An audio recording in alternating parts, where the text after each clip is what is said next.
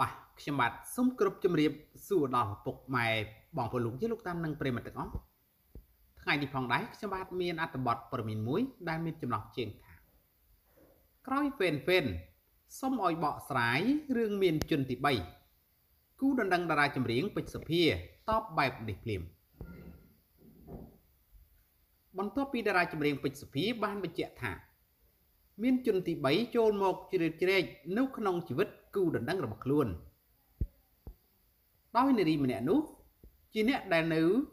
ក្បែរខ្លួន ហើយឌឺសាហាវថែមទៀតផងហាក់មិនអស់ចិត្តហ្វេនហ្វេនក៏បានសួរទៅលោកចាំសក្តាពីរឿងនេះ តែត្រូវលើកច្រានចោលដោយនិយាយថាសូមមិនបកស្រាយអ្វីទាំងអស់គូបញ្ជាក់ថាកាលពីប្រមាណ ថ្ងៃនេះតារាចម្រៀងពេជ្រសភាបាន live វីដេអូនិយាយថា ពួកយើងបែកគ្នាហើយ ដោយនាង បានបញ្ជាក់ថា មានអ្នកទី3ចូលទៅជ្រៀតជ្រែកដែលនារីម្នាក់នោះក៏មិនមែនជាអ្នកនៅឆ្ងាយដែរមិនតែប៉ុណ្ណោះតារាចម្រៀងរូបនេះ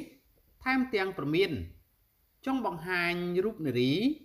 ជាជនទី3នោះជាសាធារណៈទៀតផង ប៉ុន្តែការលើកឡើងរបស់ពេជ្រសភាក្រោយពេលដែលបទចម្រៀងថ្មី គេចង់នៅម្នាក់ឯង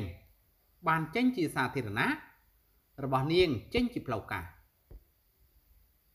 បន្ថែមពីនេះពេជ្រសភាថែមទាំងឡើងច្រៀងបទចម្រៀងរបស់ខ្លួនទាំងទឹកភ្នែកហើយភ្ជាប់ជាមួយពាក្យពេចន៍ថាចង់នៅម្នាក់ឯងលេះសាហាវប្រាប់តាមត្រង់មកចង់បែកស្រួល ខ្ញុំធ្វើចិត្ត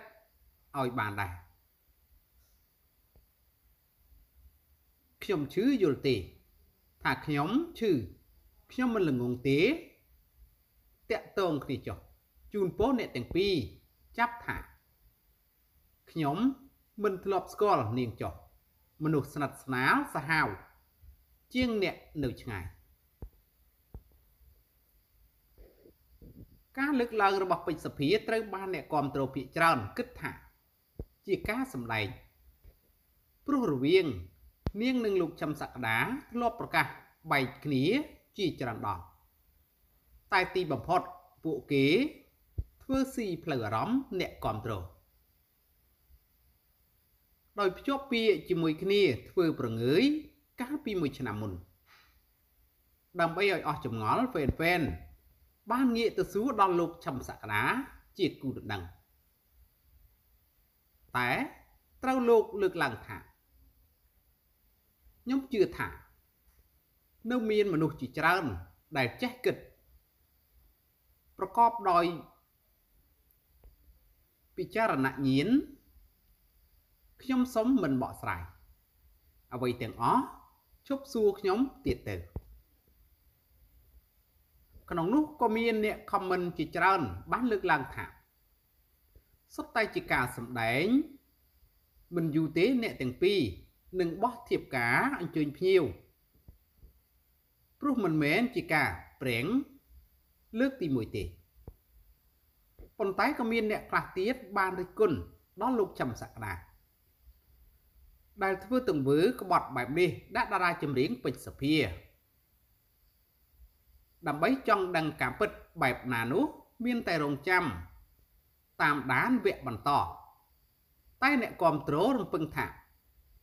ជារឿងចុងក្រោយនៅក្នុងបំណាច់ឆ្នាំ2023នេះបាទហើយអត្ថបទព័ត៌មានអេក្សបាទបាទជម្រាបជូនខាងលើនេះក៏មានតែប៉ុណ្ណឹងសូមអរគុណសូមជម្រាបលា